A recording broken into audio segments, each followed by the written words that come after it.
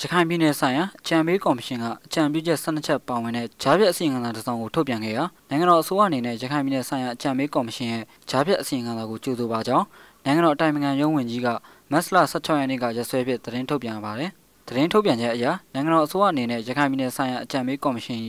ဂျားပြက်အစီရင်ခံစာကိုကြိုဆိုပါကြောင်းကော်မရှင်ဥက္ကဋ္ဌကိုဖီအာနန်နဲ့ကော်မရှင်အဖွဲ့ဝင်အားလုံး၏ရခိုင်ပြည်နယ်တည်ငြိမ်အေးချမ်းရေးနဲ့ တာယာဝပြောရေးအတွက်အမြော်မြင်ရှိမှုနဲ့အပြည့်တဘောဆောင်သောကြိုးပမ်းမှုတို့အတွက်နိုင်ငံတော်အစိုးရမှကျေးဇူးအထူးပင်တင်ရှိကြောင်းဖော်ပြထားပါတယ်။လာတူဂျားပြက်အစီရင်ခံစာပါအကြံပြုတင်ပြချက်များကိုနိုင်ငံတော်အစိုးရအနေဖြင့်တဘောထားအမြင်တူညီကြောင်းနဲ့အမျိုးသားပြည်လဲရင်ကြားစေရေးနဲ့ဖွံ့ဖြိုးတိုးတက်ရေးလုပ်ငန်းစဉ်အပေါ် ကောင်းမွန်သည့်အကျိုးတက်ရောက်မှုများရရှိစေမည်ဟုယုံကြည်ကြောင်းလည်းသတင်းထုတ်ပြန်မှုတွင်ဖော်ပြထားပါတယ်။ဆက်လက်ပြီးကော်မရှင်ရဲ့အကြံပြုတင်ပြချက်အများပြားကိုအချိန်မဆိုင်ပဲထိထိရောက်ရောက်ဖြင့်အကောင့်တွေဖို့ဆောင်ရွက်သွားမည်ဖြစ်ကြောင်းအချုပ်ကိစ္စရပ်များမှမူဒေသနာအချိန်အနေနဲ့လာရောညီဒေသဆက်ဆက်ဆောင်ရွက်ရမည်ဖြစ်တော်လဲ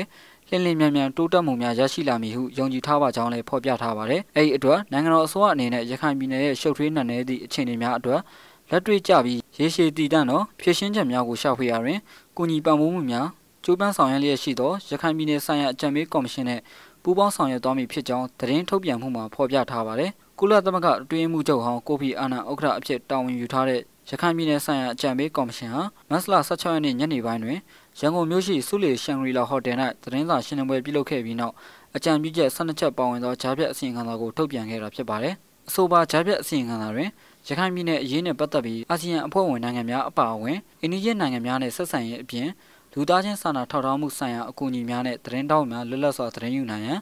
ခွင့်ပြုသင့်သည်ဟုအကြံပြုတိုက်တွန်းထားကြောင်းသိရပါတယ်။ဒါအပြင်လူအခွင့်အရေးချိုးဖောက်မှုများကိုစုံစမ်းစစ်ဆေးအပြစ်ပေးရေးနှင့်